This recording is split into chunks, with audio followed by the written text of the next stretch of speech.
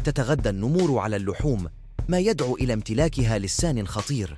إذ يتم تكييف ألسنتها خصيصاً لمساعدتها في التهام الحيوانات. من المعروف أن النمور تأكل ما يصل إلى قرابة 37 كيلوغراما من اللحوم في جلسة واحدة. أحد الأشياء التي تجعل لسان النمر فريداً هي بنية تسمى الحليمة وهي نتوءات صغيرة أعلى اللسان يمكن أن تكون مستديرة أو شائكة. هذه الأخيرة تجعل ألسنة النمور تبدو كأنها ذات فرو.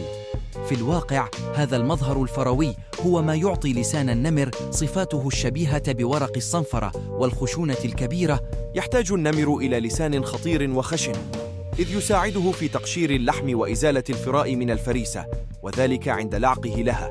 بالإضافة إلى ذلك يمكن للنمر إزالة الفراء واللحوم مباشرة من الجلد أو العظام باستخدام لسانه كما يساعده ذلك في الهضم وكذلك يساعده في الحصول على كل سعرات حرارية ممكنة من الفريسة. تستخدم النمور لسانها عادة للتخلص من فرو الفريسة إذ قد يسبب الفرو المتراكم في معدتها أضرارا صحية قد تصل إلى الوفاة في حال انسداد المعدة أو جهازها الهضمي. لذلك تحميها خشونة لسانها من مرور هذه الأجزاء الضارة إلى داخل جسدها.